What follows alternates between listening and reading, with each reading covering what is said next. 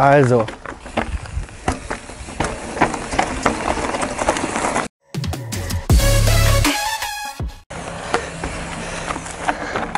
Hi liebe Leute, ich bin's mal wieder und ähm, heute ein Top 5 Video und ähm, die Top 5 Fahrtechnik Nonsens Themen, also Dinge, die immer noch in der Fahrtechnik Lehre, sage ich mal, kursieren, die als Tipp gegeben werden, aber auch in Kursen und Camps, die wirklich veraltet sind und sich als suboptimal herausgewiesen sind.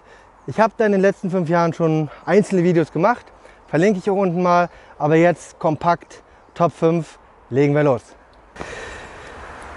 Oh, so, liebe Leute, jetzt könnt ihr euch natürlich fragen, was erdreistet ihr sich jetzt hier äh, einfach alles zu hinterfragen oder zu sagen, hey, da labern Leute Sachen, der, die echt nicht cool sind oder so äh, Nonsens halt. Ich bin seit 15 Jahren Fahrtechnik-Trainer und ähm, habe da sehr viel gesehen, sehr viel Erfahrung, sehr viel Austausch. Ähm, und das, was ich jetzt quasi sage, ist auch primär im, auf dem internationalen Standard auch ja, Lehrstandard. Nur Deutschland hat wieder viel Irritation und so einen komischen eigenen Weg. Und äh, durch einzelne Akteure bei den Ausbildungen oder in den äh, Medien, auf YouTube oder Fachmagazinen. Also, der Fahrtechnik-Nonsens Nummer 1, wo es leider auch in den letzten Jahren zu deutlich mehr Irritation kam, wie es halt vor zehn Jahren war oder so. Weil eigentlich ist da international absolut Konsens. Und zwar wird dann immer wieder gesagt, hey, ich sehe dich doch, wie, du, wie der Sattel vor dir ist, du hinter dem Sattel bist und deine Beine sind etwas gebeugt, du bist zu weit hinten.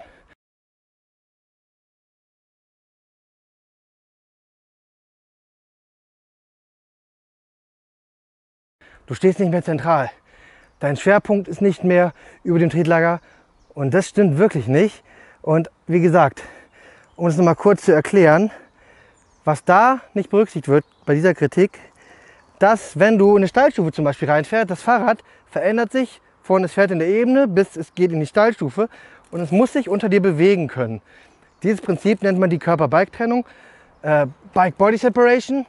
Und damit das passiert und damit man wirklich schön ausbalanciert auf den Pedalen zentral stehen bleiben kann, ist es absolut richtig gut so, wenn die Arme etwas länger werden als vorher. Also man geht vorher in eine tiefe Haltung, um dann diese Körper-Bike-Trennung zuzulassen. Und so kann man sicher und zentriert auch in Stallstellen reinfahren und das ist absolut richtig so.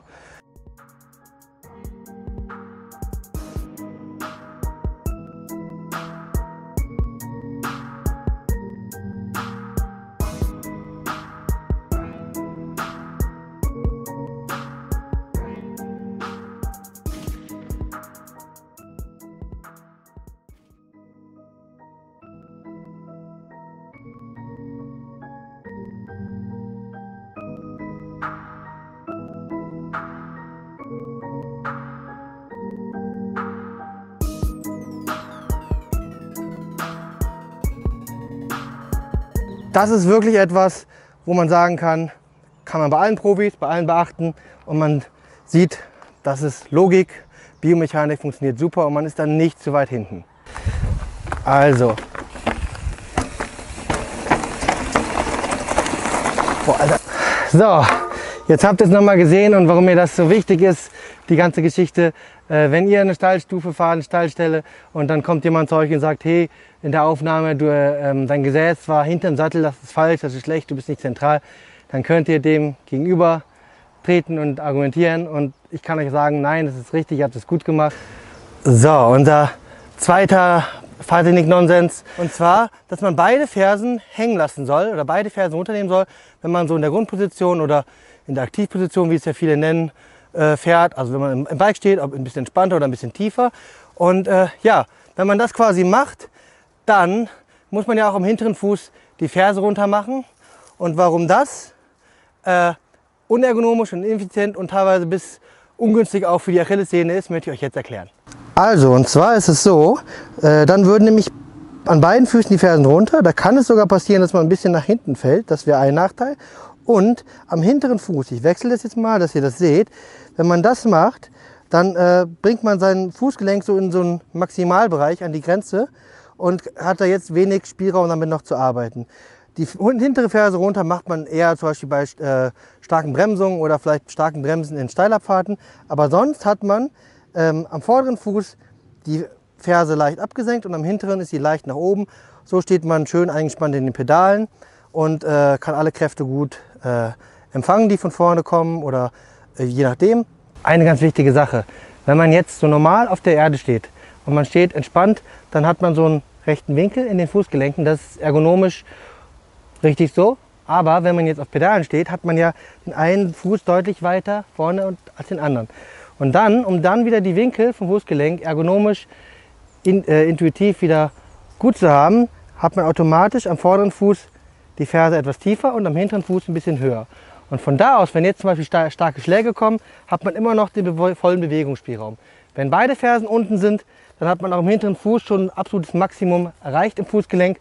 Und wenn dann ein starker Schlag kommt, kann das auch sehr ungünstig sein für das Fußgelenk. Also ganz wichtig, am vorderen Fuß die Ferse leicht hängen, am hinteren leicht oben, dann verliert man keinen Pedalkontakt und kann gut fahren.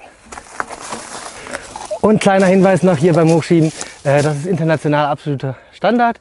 Ähm, und ihr werdet das bei Fahrern, die natürlich fahren, auch immer sehen, dass sie, wenn die normal stehen, am vorderen Fuß die Ferse leicht tiefer haben und am hinteren leicht oben. Und von da aus dann beide Füße immer noch bewegen können und in verschiedenen Situationen. Manchmal sind beide Fersen oben, zum Beispiel bei Sprüngen. Manchmal sind beide Ferse unten bei starken Bremsungen. Und äh, wenn man starke Schläge absorbiert, also hat man noch den vollen Bewegungsspielraum in den Fußgelenken. Der dritte Punkt in unserer Top 5. Ähm, ich habe schon mehrere Videos gemacht seit 2019 und auch international, weltweit kamen verschiedene Leute alle auf denselben Gedanken, weil sie sich viel damit beschäftigt haben. Und zwar der Ellenbogen-Raus-Mythos. Und es kursiert aber immer noch so stark, sowohl bei Ausbildern als auch in Medien. Und man kann wirklich sagen, das ist absoluter Nonsens. Und ich sage euch genau, warum ihr das nicht tun solltet und wie ihr es machen könnt. Und zwar ist es so, die Ellenbogen rauszunehmen, also so, ist nur eine Bewegung im Schultergelenk, eine Rotation. Das hat nichts damit zu tun, wie stark die Arme gebeugt sind oder wie du im Rad stehst. Deswegen sind diese ganzen Argumente, ich verlinke mal das ausführliche Video, was ich gemacht hat, dazu eigentlich eh mitnichten. Und jetzt die Frage, was kann man stattdessen machen? Mein Tipp, denkt nicht drüber nach, fasst euren Lenker. Und solange ihr nicht die Ellenbogen an den Körper rannehmt, dass die Ellenbogen an den Rippen sind, oder wie gesagt diesen ganz übertriebenen Cowboy macht, dann passt es auch. Und dann gibt es ein bisschen verschiedene Stilrichtungen und Vorlieben, aber generell könnt ihr so gut im Rad stehen, intuitiv, ergonomisch äh, die Armhaltung haben und braucht nicht diesen übertriebenen Cowboy. Niemand außer die Trainer fährt so. Und natürlich weiß ich, dass viele Ausbilder oder Trainer mittlerweile sagen, ja, äh, wir meinen ja nicht so stark raus, aber das ist wieder so eine Relativierung. Also man kann die Leute einfach so fahren lassen und je nach Lenkerbreite, Körperkonstitution oder Vorleben sieht es manchmal ein bisschen anders aus. Selbst bei den Profifahrern äh, sieht man da Unterschiede. Aber es ist ein Ding, ein No-Brainer. Braucht man nicht drüber nachdenken. Und diese Ellenbogenhaltung raus ist sogar schädlich für die Schulter. Und wenn man das dauerhaft macht, kann man da auch ja, Probleme, Schmerzen bekommen. In dem ausführlichen Video zum Cowboy-Mythos Ellenbogen raus habe ich auch schon alle Argumente. Aber weil es ganz aktuell ist, ich habe es letztens noch aus Ausbildungskreisen gehört, dieses Argument, ich will da nochmal drauf eingehen und euch jetzt direkt zeigen. Und zwar wurde gesagt, wenn man jetzt äh, zum Beispiel eine Stufe fährt und man hat die Ellenbogen nach raus, dann seht ihr ja, vom Gedanken wäre dann zu sagen, jetzt kann man besser das Rad runterlassen, man hat mehr Spielraum im Arm. Das stimmt aber nicht. Man hat eine Rotationsbewegung im aber die, der Weg, den der Arm machen kann, der verändert sich nicht. Also ob du jetzt quasi so normal anfährst und das Vorderrad runterlässt, die Arme werden etwas gerader, oder ob du die Ellenbogen rausdrehst und das Rad runterlässt, die Arme werden etwas gerader, macht vom Weg keinen Unterschied. Deswegen, man kann zentral im Bike stehen lassen, ohne die Ellenbogen rauszunehmen. Wenn jemand natürlich vorher schon die Arme gerade hat und dann so uh, runtergezogen wird, ist es ungünstig. Man sollte natürlich vor einer Stufe die Arme beugen, aber Arme beugen ist nicht zu verwechseln mit Ellenbogen raus, weil das ist eine Bewegung, in der Schulter und nicht im Ellenbogen.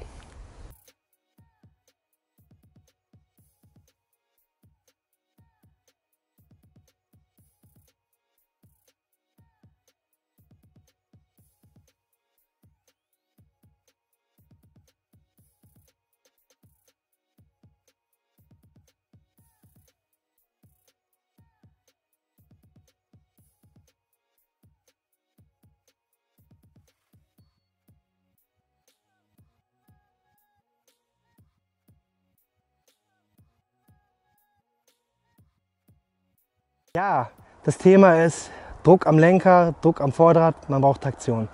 Und da kommt es wieder zu starken Missverständnissen. Da müssen wir darauf eingehen, weil es gibt wirklich Trainer, die sagen, wenn man so fährt, auch in der normalen Grundposition oder in der aktivierten Position, wie man es jetzt auch nennen will, also ein bisschen entspannter oder ein bisschen angriffsmäßiger, ein bisschen tiefere Haltung schon, weil das Gelände vorne ist, sollte man schon 15 Prozent, keine Ahnung, Gewicht auf dem Lenker haben, um Traktion aufs Vorderrad zu kriegen. Und dieser, diese Anweisung ist suboptimal ein bisschen zu gefährlich. Natürlich hat man im steilen Gelände, wenn steil wird, man viel bremsen muss, auch etwas Druck am, am Lenker. Dann hat man einen lastenarmen Lenker, aber man sollte im Rahmen der Körper-Bike-Trennung, also wenn man das Rad unter sich bewegen lässt, es kommt zu einem, es geht weg von einem Stallstufe oder ein dicker Hubbel, wie auch immer, sollte man immer noch primär auf den Beinen stehen, damit das Rad auch unter einem sich bewegen kann. Wenn man einen Teil des Körpergewichts schon fix am Lenker hat, weil man denkt, ich brauche mehr Traktion vorne, ich brauche mehr Traktion vorne, dann kann es wirklich passieren, dass man zum Beispiel an Hindernissen hängen bleibt. Ihr könnt es mal an der Bordsteinkante probieren. Also wenn ihr mit viel Druck am Lenker, mit Körpergewicht, das ist ganz wichtig, ein Teil des Körpergewichts auf dem Lenker fahrt und ihr fahrt gegen Hindernissen, merkt ihr, wie es viel stärker dieser Effekt ist, dass einen nach vorne schiebt. Und wenn man das Gewicht auf den Füßen hat und am vorderen, Fer vorderen Fuß die Ferse unten hat, man kann mit den Beinen viel besser reagieren, wenn Hindernisse kommen, also dagegen halten, dass man nicht uh, nach vorne geschoben wird und kann das Rad viel besser unter sich bewegen lassen. Dass es auch wirklich kommen kann und dass man nicht auf dem Lenker äh, ganz viel Druck hat und dann viel steifer wird und ist auch super anstrengend für die, für die Arme. Also, das Gewicht primär auf den Füßen, dann kann das Fahrrad sich unter einem bewegen. Oh. Ah, diese ganze Geschichte mit dem viel am Vorderrad ging auch ganz oft Hand in Hand in so Erklärungen mit, äh, man soll immer vorne bleiben, immer das Kind über dem Vorbau halten. Eine sehr missverständliche Formulierung. Und ich habe wirklich in Kursen immer mal wieder Leute erlebt, die das gehört haben und wirklich versucht haben zu machen. Also anstatt das Rad unter sich bewegen zu lassen, haben die versucht, immer hier vorne steif zu bleiben.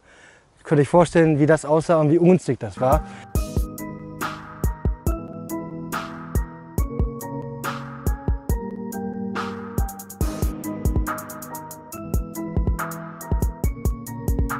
bis hin zu gefährlich.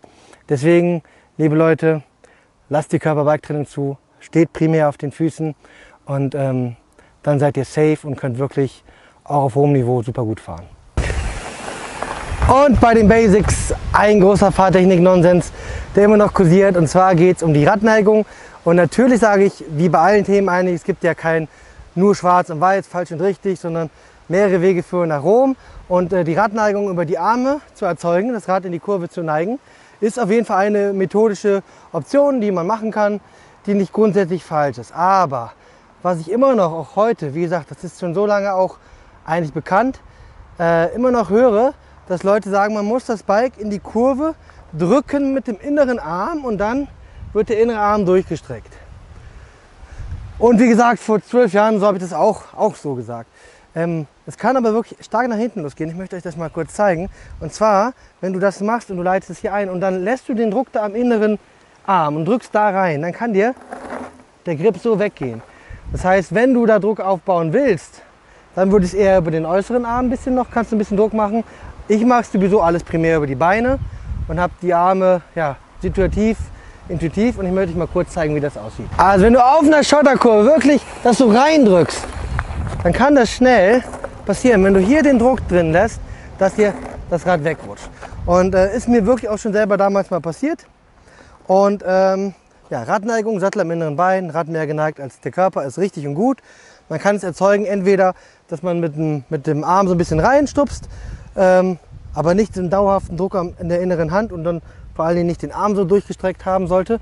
Oder wie ich es mache oder wie viele Naturals auch machen, ähm, über die Beinarbeit wenn man die Beine mitbewegt, die Körper, den Körper dreht, dann kippt das Rad in die Kurve und das funktioniert super. Und man hat die Arme frei für alles, was kommt, Hobel, Löcher und ist dann nicht schon so äh, mit einem Arm durchgestreckt und sehr passiv dann.